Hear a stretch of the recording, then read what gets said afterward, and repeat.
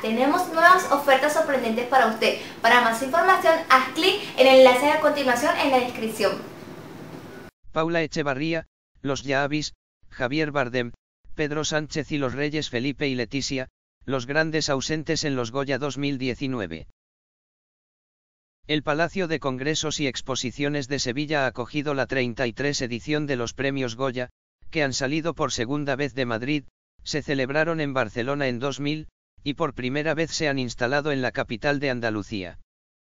Podría pensarse que al salir de Madrid, que es donde residen la mayor parte de los invitados e invitadas a la gala, habría grandes ausencias, pero lo cierto es que ha habido un enorme cónclave de caras conocidas y no tan conocidas, los que trabajan tras las cámaras, del mundo de la interpretación que han estado felices de viajar a Sevilla para celebrar todos juntos la gran fiesta del cine español. Sin embargo, sí ha habido importantes ausencias que no han podido estar presentes en la ceremonia de entrega por diversos motivos. Paula Echevarría no es una actriz especialmente destacada en el séptimo arte, pero sí ha acudido en varias ocasiones y ha entregado cabezones. Su simpatía y sus estudiados looks siempre son dignos de ver, por lo que su ausencia siempre es una pena, viva el cine español. Hoy es su gran día y yo no me lo pienso perder, desde casa, apoyando a todos mis compañeros. Mucha mierda a todos. Almohadilla Cine Español Almohadilla Premios Goya Almohadilla Los Goya, ha comentado en Instagram. Tampoco ha estado presente Inma Cuesta, que nunca se pierde la cita, pero que en este 2019 no ha podido acudir debido a que tenía otros compromisos que atender. La actriz Macarena García no ha ido, como tampoco lo han hecho los directores Javier Ambrosi y Javi Calvo, que han sido disculpados por dos de sus actores fetiche, Belén Cuesta y Breis F. Más llamativa ha sido la incomparecencia de Javier Bardem, que aunque está nominado por su trabajo en Todos los saben, no ha podido ir debido a un rodaje.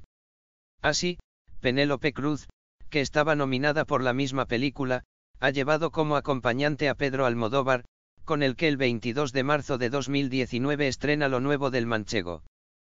Dolor y Gloria. Y para Gloria la que se habría llevado Carmina Barrios de haber asistido. Sabe que su trabajo en la interpretación ya es prácticamente cosa del pasado y por eso prefiere quedarse en casa y dejar todo el protagonismo a sus hijos, Paco y María León, pero es tan querida que de haber ido habría acaparado todas las miradas. Ha sido su hijo el que ha confirmado que aunque la gala es en Sevilla, se ha quedado en casa viéndolo por la tele, que es donde mejor se ve.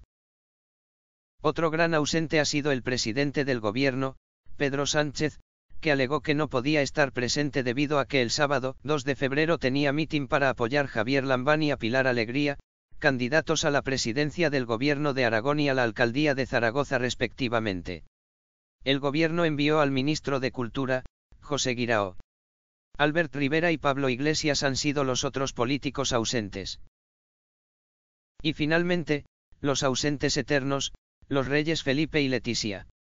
Si bien es cierto que los reyes Juan Carlos y Sofía acudieron a la primera gala de los Goya, allá por 1987, y que don Felipe estuvo presente en la ceremonia del año 2000, concretamente el día de su 32 cumpleaños.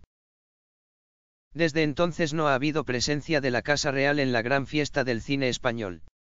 Aunque los reyes Felipe y Leticia son invitados año tras año, ellos siempre rechazan acudir. Si bien es cierto que es un error y que deberían acostumbrarse a presentarse en la gala, Casa Real aluce a que los reyes son amantes del cine y lo apoyan dejándose ver yendo a salas a disfrutar del séptimo arte. Hola, tenemos nuevas ofertas sorprendentes para usted. Para más información, haz clic en el enlace a continuación en la descripción.